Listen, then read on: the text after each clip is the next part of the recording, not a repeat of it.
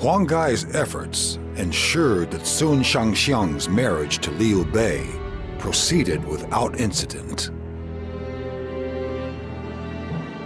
Before long, Zhou Yu passed away after a long career supporting Wu.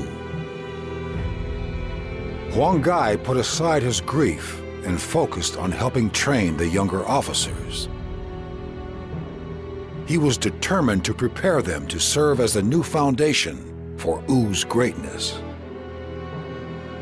That was the best way to ensure that his vast experience remained useful.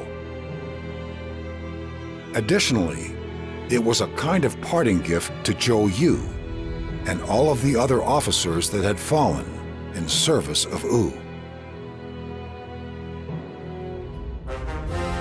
Hmm, all right, it's time to get started. Come Lu it's my turn. I will rock you! You both still wet behind the ears. Then may I have a try?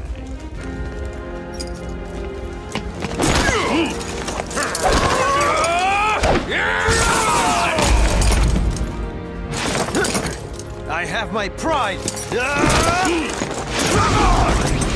Don't tell me. You're done already?